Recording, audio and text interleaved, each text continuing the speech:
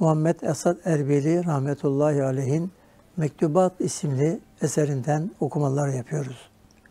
Bu mektuplar Hazretin müritlerine, mensuplarına zaman zaman yazdığı mektuplar. Rabıta manevi mülakattır. Yani gıyabi bağlılık, gıyabi tefekkür, gıyabi düşünce manevi mülakattır. Burada da iki esasdan bahsediliyor.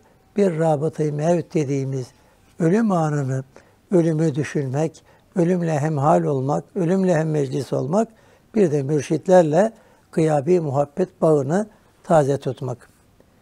Buyuruyorlar ki yine gönderme lütfunda bulunduğunuz yazılarınız Cenab-ı Hakk'ın nimetlerine karşılık vefa göstermenin misallerini veren mektubunuz elimize ulaştı. Kaybettiğiniz evladınız hakkında duyduğunuz gam ve keder için inşallah sorumlu tutulmasınız. Çünkü aleyhissalatu vesselam Efendimiz Hazretleri de oğlu İbrahim'i kaybettikleri zaman kederlendiler. Mevlam iki cihanda mükafatını versin. Ölüm ile rabıta kurmak bu gibi felaketlerin ağırlığını hafifleteceği gibi kişinin kendi ölümünü de kolaylaştırır. Evet, çok önemli bir cümledir. Ölümle rabıta korumak yani bir başka ifadeyle tefekkürü mevt dediğimiz ölüm ahvalini düşünmek bu gibi felaketlerin ağırlığını hafifleteceği gibi kişinin kendi ölümünü de kolaylaştırır. İnsanı huzursuz eden dünya sevgisini azaltır. Çünkü dünyanın geçici mal, mertebe, mevki ve güzelliklerini sevmek ve onlara gönül bağlamak, onlarla son derece ilgilenmek her türlü günah ve rahatsızlığın başıdır. Cenab-ı Allah kalbinizi bu gibi ilgi, sevgi ve bağlılıklardan korusun. Orasını zikir ve muhabbet evi kılsın. Devam ettiğiniz zikir ve rabıtanızı ahiret kurtuluşunuza vesile kılsın. Amin.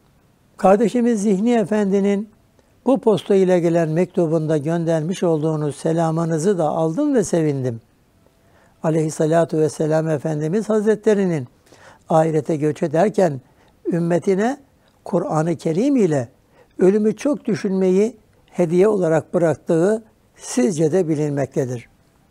Meşayih-i Kiram Hazretlerinin de sadıklarla beraber olunuz ayeti kerimesinden hareketle rabıtayı şerifeyi ihvanlarına tavsiye etmeleri, sıkıntılı zamanlarında da bir teselli vesilesi kabul etmeleri teşekküre değer ayrı bir husustur.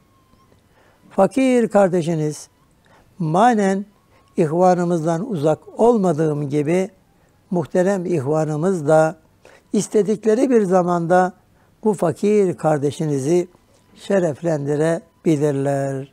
Kalbi hayatta bir uzaklık yoktur. Bu arada mahrum kalan sadece bedeni kalıptır. Bunun çaresini de Cenab-ı Mevla'dan niyaz ederiz. Şu sırada kavuşmak ve buluşmak için bazı sebepler ortaya çıkıyor. İnşallah çok kısa bir zamanda vuslat ve görüşme nimetine de nail oluruz.